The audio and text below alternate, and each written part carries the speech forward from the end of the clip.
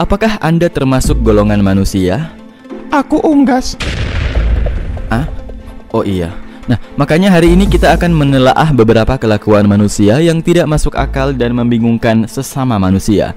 Seperti ini contohnya. Udah, putar dulu intronya. Slept away the morning, the things that you would miss, like laughter from the kitchen, or a memory like this. Dapurkan mesa seres, seres, Dapurkan cinta. Aroma 100% coklat asli Mesa Seres, tak ada yang menandingi. Pagi-pagi begini enaknya minum susu sambil makan biskuit. Tapi itu gelasnya terlalu kecil, Pak. Ambil ember. Si Supri tiba-tiba memborong semua pisang yang ada di minimarket. Kata kasirnya, sangat mencurigakan. Ya siapa tahu di rumahnya banyak monyet kan? Nggak mau pisang ah, bosan gua. Maunya Krabby Patty. Ya udah, aku aja yang makan. Eh tapi dari tadi si Supri nggak keluar-keluar dari minimarket dan dia hanya merenung di depan pintu. Ini yang membuatnya bingung. Ini don't pull push only atau don't push pull only? Jadi ini maunya jangan tarik dorong saja atau jangan dorong tarik saja. Tendang saja. Sampai di perempatan si Supri merenung lagi. Mau maju disuruh stop, belok kiri tidak boleh, belok kanan juga tidak boleh. Terus aku harus bagaimana, Bogeng? Ya, mundur, mundur. Setelah sampai di rumah, aduh haus, langsung aja buka minuman. Loh, itu ada penutupnya, Bos. Kenapa Anda mencari cara yang sulit? Apakah tidak ada cara yang lebih sulit lagi? Begini bisa, kita minum dari bawah. Cara berpikirnya terbalik ya. Ini ibu suka, sedang bermain game. Mouse-nya bagus ya. Lagi asik-asik makan keripik kentang, aduh tiba-tiba mulutnya berasa ada yang aneh. Kok ada bulunya? Ternyata ada akarnya. Buruan ditanam. Kita lagi makan spaghetti tapi cuma sedikit. Biar banyak, iya di fotokopi. Kadang-kadang di bandara kopernya Shizuka tertukar dengan suami orang lain. Biar tidak hilang, taruh aja foto Anda di sana. Orang mau ngambil juga takut kan? Wow. Makan mie berbentuk mie udah biasa. Begini dong. Mie-nya berbentuk donat. Bolongnya tengah. Nggak ada kotak bekal, bawa mie instan di dalam kemasan plastik juga tidak masalah. Tapi masalahnya itu minyak udah mengeras bosku Udah hampir jadi fosil Hmm, semangkanya seger Ya tapi kebalik Mora. Eh, tapi jangan sampailah Anda makan durian juga kayak begitu. Hmm. Sebelum digoreng, kentangnya kita bilas dulu kan? Nggak salah sih, tapi kenapa harus di situ? Ini orang yang sedang nge-cosplay jadi Doraemon. Itu Doraemon yang sedang kecapean. Loh, mukanya yang di atas apa yang di bawah? Halo, aku Doraemon. Untuk mengisi roti isi, kadang roti itu kita buka tutup. Tapi biar lebih kuat, orang ini memasangkan engsel pintu. Janganlah seperti itu. Begitu luas jalanan yang telah dibuat, kenapa Anda malah berjalan di atas pembatas jalan? Berani-beraninya tampil beda Siapa suruh parkir mobil di tempat parkir motor?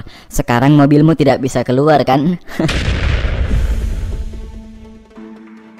Ini si pemilik mobil sedang menunggu pemilik motor untuk keluar. Dan ini pemilik motor, nggak mau pindahin motornya. Gitu aja kalian sampai malam. Sudah saatnya kita naik elang.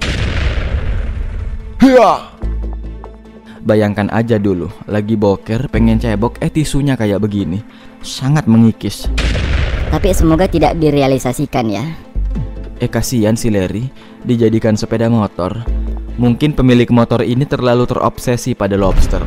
Mana lobster goreng lagi Jadi lapar.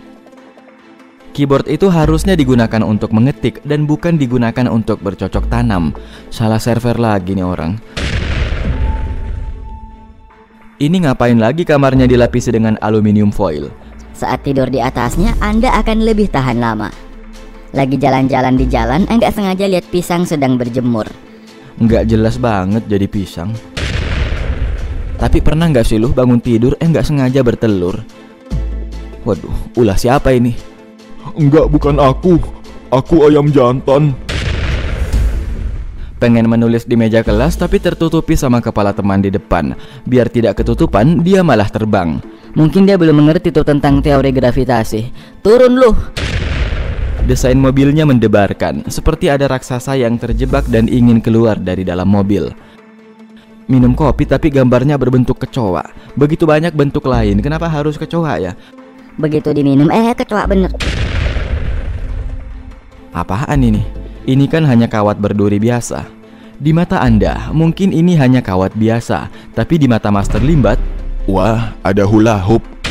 eh jangan bang. Dari tadi mencet-mencet sabun tapi kok nggak mau keluar ya? Eh, pantas aja sabun di WC pada bolong. Eh, Jangan-jangan ini pohon di depan rumahnya Master Limbat, bata aja dimakan.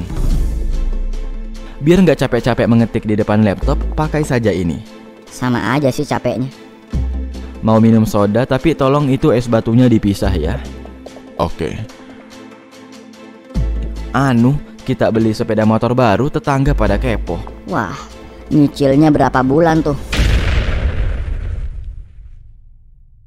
Capek-capek ke minimarket cuma beli ini. Walaupun kecil tapi pengaruhnya besar. Bangun pagi-pagi si Mora jadi kesal. Semalaman ngecas nggak penuh-penuh baterainya. Nggak taunya yang dicas malah sosis. Ngapain itu sosis dicas? Lobet. Kalau aku, sosisku suka heng-heng. Sebenarnya sosis itu jangan dicas, tapi digoreng. Digoreng sih digoreng, tapi kenapa ada bola kastinya? Sosisku lebih panjang daripada sosismu. Iya deh panjang, tapi tolong jangan ditaruh di antena mobil juga dong, mubazir. Ini Pak Sugeng sedang nonton bersama alien. Wow, bagaimana tuh caranya membuat kumis yang sangat aerodinamis seperti ini? Ada yang mau es krim? Itu bukan es krim. Eh, Pak, ini nama tokonya mau dikasih nama apa ya? Apa? Wah, apa beneran? Dahlah, semoga tidak salah paham lagi dan kita jadikan ini sebagai angin berlalu. Terima kasih telah menonton dan ingat kata-kata Master Limbat.